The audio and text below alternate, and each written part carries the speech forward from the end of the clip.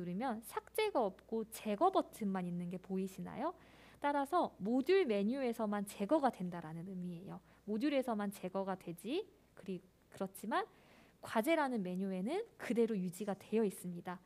따라서 반대로 모듈이라는 메뉴에서 지우면 아 제, 죄송합니다 잘못 말했는데 제가 과제라는 메뉴에서 지우면 모듈에서도 자동적으로 삭제가 되겠죠. 그래서 이 부분이 교수님들께서 운영을 하시다 보면 좀 헷갈리실 수 있어요. 그렇기 때문에 이 부분 함께 말씀을 드렸고요.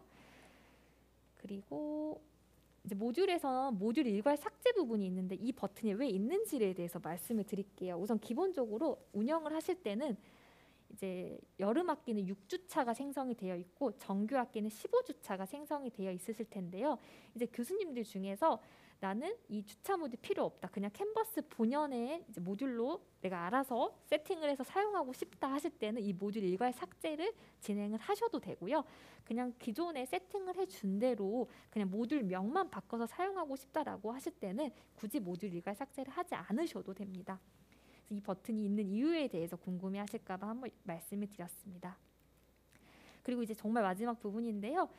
어, new ETL에는 저장소가 두 가지가 있어요. 근데 이 부분은 그냥 교수님께서 참고용으로 들어주시면 좋을 것 같아서 그냥 한번 들어주시기만 하면 좋을 것 같습니다. 우선 메뉴를 보시면 파일이라는 메뉴가 있어요. 그리고 My CMS라는 메뉴가 있는데 제가 아까 CMS는 교수님들 강의 이제 콘텐츠들 저장할 수 있는 별도의 이제 그 storage 같은 사이트라고 말씀을 드렸죠.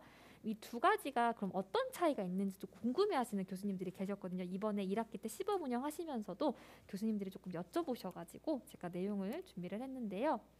일단 과목 파일이라는 메뉴, 과목 저장소는 교수님께서 공지에 파일을 첨부를 하셨거나 토론에 파일을 추가하셨거나 모듈에 추가를 하셨거나 하셨을 때, 그러니까 즉 이 첨부 파일이라는 기능 그리고 혹은 아까 에디터에서 저희가 삽입 버튼으로도 삽입을 하실 수 있어, 있으셨잖아요. 해당 기능을 통해서 추가하실 때는 과목 저장소로 저장이 되고요. 그런데 저희가 아까 My CMS라는 메뉴 있었잖아요. 그 CMS라는 메뉴를 통해서 추가할 때는 CMS 저장소를 차지하게 된다라고 생각을 해주시면 되고요. 네, 이 부분은 사실 그냥 참고용으로 알고 계시면 좋을 것 같아서 제가 한번 내용 함께 준비를 해봤습니다. 네, 그래서 여기까지 제가 이제 준비한 내용을 모두 마쳤고요. 오늘 제가 아까 초반에도 말씀을 드렸다시피 오늘 이제 아마 어, 유형 그 강의 유형이 굉장히 다양하실 것으로 생각이 돼서 정말 A to Z 모든 내용들을 다 담다 보니까 내용이 조금 길어질 수밖에 없었어요. 제 내용이 많이 길고 또 처음 접하시는 내용이라서 많이 어려우셨을 텐데 그럼에도 불구하시고 정말 열심히 잘 참여해 주셔서 제가 다시 한번 감사하다는 말씀 전달을 드리고 싶고요. 제가 지금부터는 이제 Q&A 받도록 할 텐데요. 이제 Q&A 받으시면서 또 시간 되시는 분들은 설문조사 한 번씩만 참여해 주시면 감사하겠습니다. 네, 그럼 제가 우선은 어, 오프라인으로 오셨, 오신 교수님부터 한번 질문 받도록 하겠습니다. 네, 처음에 좀 몇 개 좀 많이 적었는데 과, 다 이렇게 설명을 다 해주셔갖고 네, 네. 대부분 설명이 다 제, 이해는 됐어요. 네, 근데 이제 이건 제가 못 들었는지 모르겠는데 그 수강생 처음에 네, 그 추가 설명해 주셨는데 기본적으로 수강 신청한 어, 학생들은 자동으로 수강생으로 들어가는 거죠. 네, 맞습니다. 아 그리고 네, 이제 청강생이나 이런 사람만 네, 예, 네. 추가하는 거고. 네. 예. 그리고 그 메뉴 중에 SI, SIS ID라고 있었는데 그거는 뭔가요? 아, 이 SIS 아이디는 사실 교수님께서 사용하시는 기능은 아니시고요. 아, 이거는 보통 관리자가 사용하시는 메뉴라서 이제 교수님께서는 사실 이 SIS 아이디보다는 이메일과 예. 그 로그인 아이디 학번으로 사용을 해주시면 되십니다. 알겠습니다. 네, 네. 네. 죄송합니다. 네. 그리고 그게 예, 알- 감사합니다. 그렇게 되고 음, 또 하나는요. 그 토론 기능에서 네, 뭐 토론은 어떻게 보면 이제 과제 제출은 하지 않고 이제 그, 네네. 그 학생들이 이제 뭐 채, 이제 뭐 거기에 이제 댓글을 잘 달거나 네, 예, 네. 그런 방식이잖아요. 네. 거기서 피어 리뷰 기능도 있었는데 사실 그거는 어떤 의미가 있을까요? 토론에서 피어 리뷰라는 게? 어 근데 토론에서도 사실 어 이제 평가용 토론을 또 출제를 하시는 교수님들도 좀 많이 아. 계셔가지고 네. 그렇게 평가용 토론을 하실 때 이제 또 조별로 사실 보통 피어 리뷰는 보통 조별 과제에서 많이 좀 따라간다라고 보시면 되거든요. 네. 그래서 조별 토론을 할 때 또 이제 학생들이 서로 이제 본인의 역할을 다 했는지 사실 그런 부분들을 조금 음. 평가하는 약간 태도 평가 용도로 보시면 좋을 것 같습니다. 아, 네, 예, 네. 알겠습니다. 네. 그러면 이제 피어 리뷰가 이제 이 매칭을 이제 자동으로 해줄 수 있잖아요. 네, 근데 네. 이제 전체 학생을 하나의 그룹으로 나- 네. 나누지 않고 조로 안 나누고 했을 때는 이제 뭐 그, 그- 그 이제 그거는 랜덤으로 다 매칭을 해주는 거죠? 네, 예를 네. 들어서 자동으로 하시면 네. 시스템에서 자동으로 매칭이 자동으로? 됩니다. 네. 근데 이제 이게 조별로 돼 있을 때는 네. 어떻게 되나요? 그 조 안에서의 이 매칭이 되나요? 아니면은 아 네. 조별로 되어 있을 때는 그러니까 네. 두 가지 방식이 있, 어요 사실 여기서 설정을 하시면은 조와 조끼리 설정을 하시는데 네. 사실 이제 조원과 조원도 매칭을 하는 방법이 있긴 한데 제가 이 방법은 따로 뭔가 설정을 하는 방법을 통해서 해야 돼서 혹시 이 부분이 추가로 필요하시다면 저희가 관련 매뉴얼을 다시 전달을 해드려야 될것 아. 같습니다. 우선 그- 기본적으로는 조별로 서로가 서로의 조를 평가한다라는 개념으로 봐주시면 될 것 같습니다. 아 조별로요. 네, 네. 그럼 조그 그럼 어떻게 되나요? 그 각 그 한 조의 모든 조원들이 다 리뷰를 하는 건가요? 근데 보통은 한 조원이 하면은 전체가 이제 다 했다라고 인식이 아, 예, 됩니다. 알겠습니다. 그럼 이제 조 단위네요. 다 네, 네. 평 평가도록. 네, 네. 예, 예, 알겠습니다. 네, 그렇게. 예. 네, 네, 알겠습니다. 네, 감사합니다. 네, 감사합니다. 교수님. 네.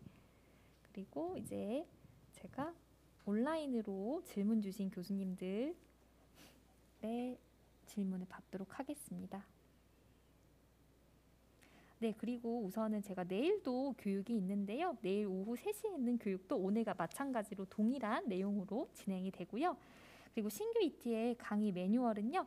제가 아까 말씀드렸다시피 new ETL의 메인으로 가시면요. 이 메인 화면에 교수자 매뉴얼을 선택을 하시면 교수님들을 위한 매뉴얼을 게시를 했습니다. 따라서 이 해당 매뉴얼 창에서 각종 매뉴얼들 확인을 해 주시면 될 것 같습니다.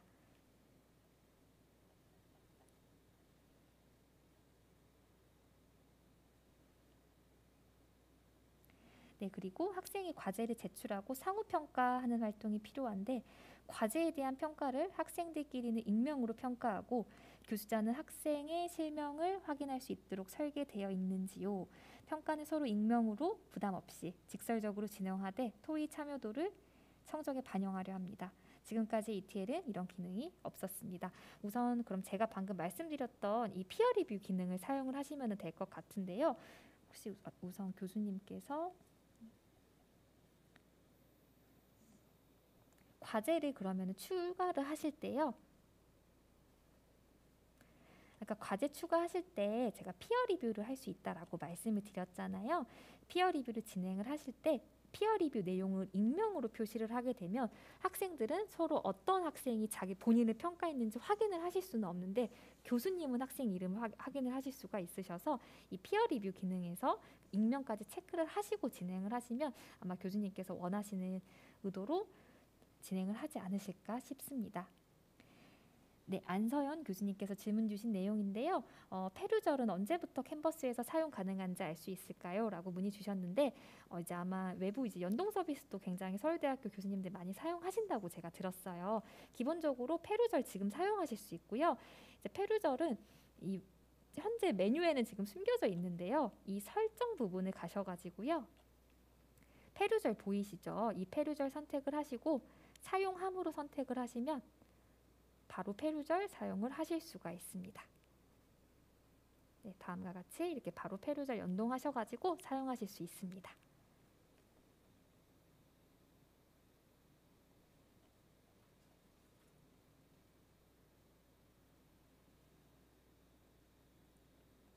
네, 어, 그리고 테스트 과목이 보이는데 메뉴가 다르네요. 라고 말씀을 해주셨는데요.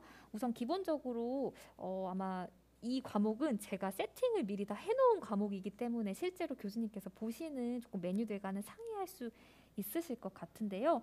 그리고 채팅 메뉴는요. 우선 채팅은 제가 아까 말씀을 드렸듯이 별도 메뉴로 구성이 되어 있는 건 아니고 우측 하단의 웹 채팅 아이콘을 통해서 접속을 하실 수가 있는데요. 혹시 이 아이콘이 안 보시는 걸까요?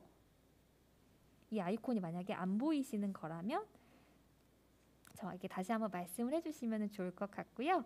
네, 그리고 우선은 이게 쌍방으로 진행하는 교육이 아니 아닌가 보네요라고 말씀을 주셨는데 우선은 오늘은 사실 조금 쌍방으로 진행을 하기보다는 쌍방으로 진행을 하게 되면 사실 시간이 정말 많이 소요가 돼서 우선 오늘 교육은 제가 아까도 방금 말씀을 드렸다시피 A2 정말 모든 내용들에 대해서 다 우선적으로는 설명을 드리는 교육으로 구성을 했고요. 이제 교수님께서 이제 원하시는 쌍방으로 진행하는 교육은 제가 추후에 또 기초교육원과 논의를 해서 아마 추가 편성이라든지 그 부분은 이제 별도 편성이 필요할 것 같습니다. 오늘 교육 일단 컨셉은 제가 이제 UETL에 대한 모든 내용들을 조금 강의 형식으로 진행을 하는 게 컨셉이었습니다. 네. 아, 네. 그리고 이제 제가 방금 기초교육원 이제 담당 선생님께 내용을 전달을 받았는데요. 이제 추후에 교수님들을 위해서 찾아가는 서비스를 진행을 하실 예정이라고 합니다. 이 찾아가는 서비스를 통해서 우리 이제 어 이제 ETL을 잘 아시는 선생님, UETL 잘 아시는 선생님들께서 교수님을 직접 찾아뵙고 이제 교수님들의 여러 가지 질문들을 받는 별도 서비스를 마련할 예정이라고 하니까요. 해당 내용을 이제 또 이제 학내 기초교육원에서 전달해서 이제 공지를 하시는 걸로 하겠습니다.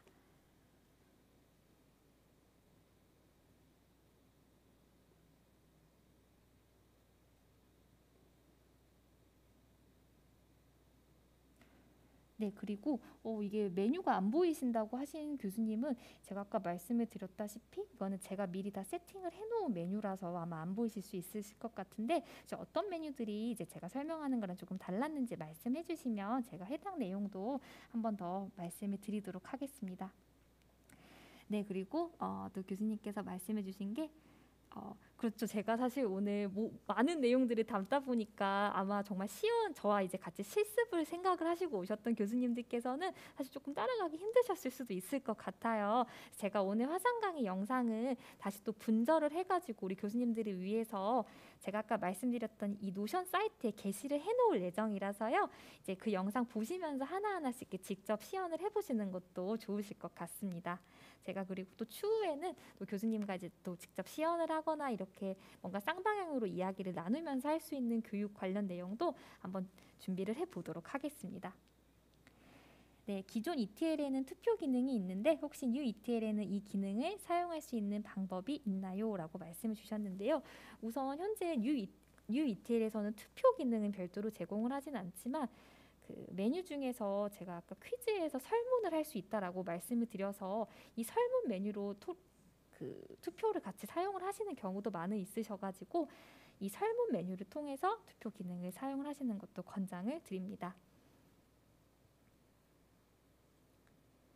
네, 그리고 Gradescope이라는 메뉴가 있는 것 같은데 이 부분 혹시 설명을 하셨을까요? 제가 놓쳤나요? 라는 말씀하셨는데요. 우선 Gradescope는 우선 저희 Xinics의 제품이 아닌 그 Turnitin사, Turnitin 코리아의 제품이고요. 어, 따라서 저희 이제 Xinics에서는 그 그레이드 스콥을 UETL과 사실 연동만 진행을 했기 때문에 이 Gradescope 관련 내용은 아마 Turnitin 측으로 이제 관련 교육이라든지 문의를 아마 해주셔야 될 것 같은데 이 부분에 대해서는 우선 제가 좀 기초교육원 관련 선생님과 조금 이야기를 해보도록 하겠습니다. 그리고 이제 그레이드 스콥은 저희가 매뉴얼은 따로 제작을 해놓은 게 있어서 이 매뉴얼은 어, 기초교육원 통해서 전달을 드리도록 하겠습니다.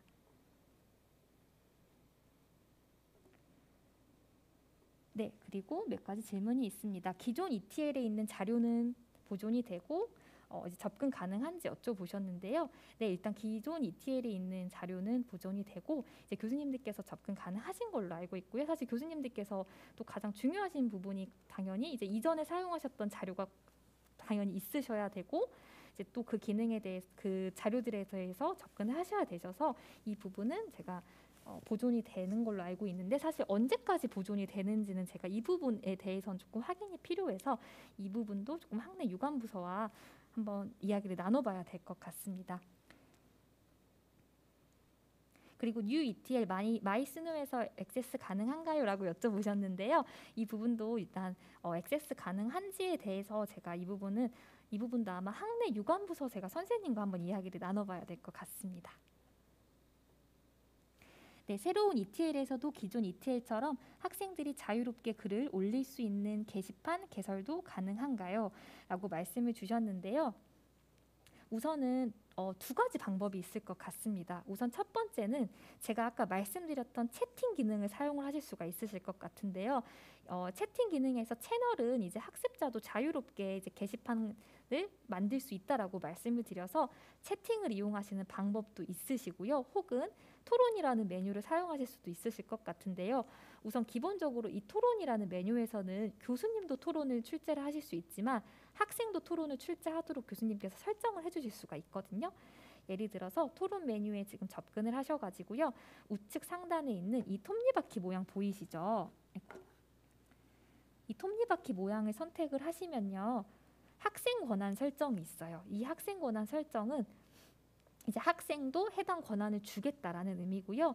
토론 주제 만들기를 선택을 하시게 되면 학생도 교수님처럼 토론을 만드실 수 있어서 어, 게시판이 아닌 이 토론 메뉴를 통해서 학생들이 자유롭게 이야기할 수 있는 게시판을 만드실 수도 있으실 것 같습니다.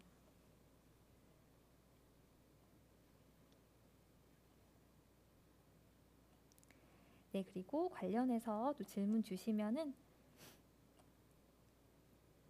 질문 제가 답변해 드리도록 하겠습니다. 그리고 혹시라도 이제 또 아마 오늘 이제 제가 준비한 이 워크숍 내용을 보시고 아마 정말 100% 모든 내용을 조금 이해하시긴 힘드실 수도 있을 것 같아요. 왜냐하면 사실 워낙 제가 내용이 많이 방대하기도 했고 힘드실 수도 있을 것 같은데 추후에 또 질문 생기시면 기초교육원 통해서 질문 주시면은 저희가 질문에 대한 내용은 다 답변을 드리도록 하겠습니다. 네, 그리고 어, 메뉴 기본 설정은 한국어로 되어 있는 것 같은데 외국인 학생들을 위해 언어 설정을 영어로 변경하는 것은 가능한가요? 라고 주셔, 질문 주셨는데요. 네, 기본적으로 이 설정 메뉴에서 변경하실 수 있습니다. 설정 메뉴에서 세부 정보 들어가시면요. 언어 부분이 있습니다. 이 언어 부분에서 디폴트는 지금 한국어로 되어 있지만 다음과 같이 다양한 언어로 변경을 하실 수가 있고요. 그리고 제가 방금 말씀드린 부분은 과목 언어를 변경하는 거고요. 그리고 이제 또 교수님이 외국인 교수님 같은 경우에는 과목뿐만 아니라 이러한 개인 설정들도 다 변경을 하셔야 되겠죠. 그럴 때는 계정에 들어가셔서 설정에 들어가시면 이제 나의 설정, 내가 이 ETL을 어떻게 보이게 할 것인지 선택을 하시면 이 언어 이 언어도 이곳에서 변경을 하실 수가 있습니다. 그렇지만 방금 교수님께서 말씀하신 부분은 과목 언어 설정을 변경을 하신 어떻게 하는지 여쭤보신 질문이 있어서 과목에서 설정에 들어가신 다음에 세부 정보에서 언어를 변경을 해주시면 됩니다. 네, 혹시 새 ETL에서도 기존 ETL처럼 13주차에 설정한 메뉴를 12주차와 같은 다른 주차로 옮기는 것이 가능할까요? 라고 말씀을 주셨는데요. 어, 이 말씀이 혹시 이 말씀이실까요? 뭐 예를 들어서 제가 2월 강의 모음에 1주차 과제를 업로드를 했는데 해당 과제를 이렇게 3월 강의 모음으로 옮길 수 있냐는 질문이신 걸까요?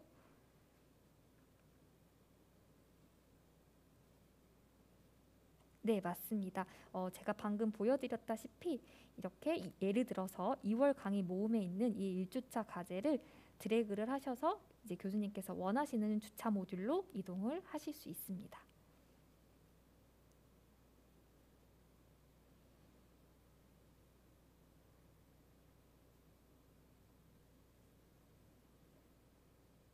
네, 감사합니다.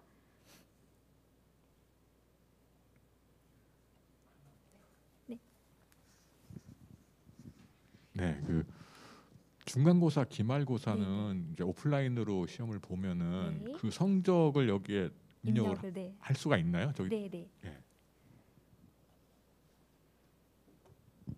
교수님 그런데 혹시 그 시험을 시험형으로 보시나요? 과제형으로 보시나요?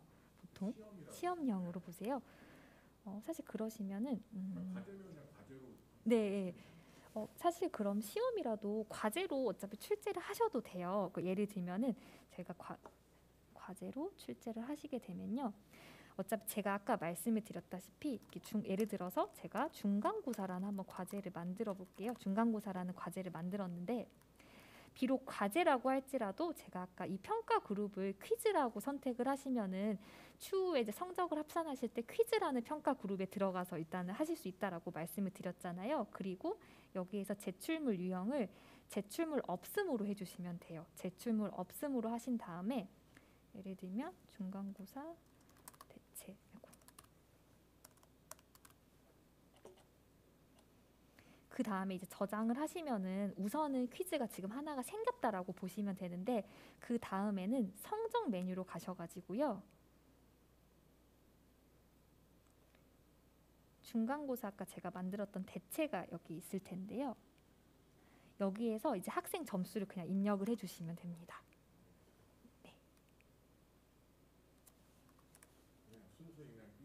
네, 입력만 해주시면 됩니다. 그러면 비록 과제라고 할, 할지라도 어, 이제 교수님께서 설정하신 그 평가 그룹에 맞춰서 이 학생이 득점한 점수가 자동으로 계산이 됩니다.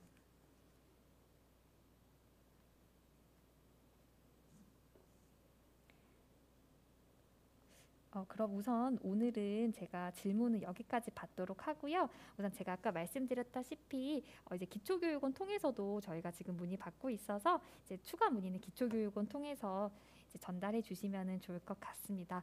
우선 오늘 정말 긴 시간 동안 정말 내용이 너무 많, 많았는데 그럼에도 불구하고 우리 교수님께서 정말 너무 잘 참여해 주셔가지고 어, 제가 너무 많은 힘을 받았고 정말 다시 한번 감사하다는 말씀 드리고 싶고요. 이제 교수님들께서 사용하시다 보면은 당연히 불편하신 점 굉장히 많으실 거라는 생각이 들어요. 왜냐하면 사실 저도 어, 물론 개발사긴 하지만 사실 저도 사용을 하다 보면 이게 100점짜리 시스템이냐라고 물었을 때 사실 저도 100점이라고 단정은 할 수가 없습니다. 그렇지만 저희는 항상 이제 100점이 되기 위해서 이제 노력을 하고 있고요. 저희가 100점짜리 시스템이 되기 위해서는 교수님들의 여러 피드백이 지금 굉장히 많이 필요하고요. 사용하시면서 당연히 단점, 장점 저희에게 다 말씀해 주시면 더욱더 개선해서 100점짜리 프로그램 되도록 많은 노력하겠습니다. 네, 저는 이제 이제 여기서 인사드려야 될 것 같고요. 저는 이제 지금까지 서울대학교 운영 PM 정수지였습니다. 네, 감사합니다. 감사합니다. 네. 네, 감사합니다, 교수님.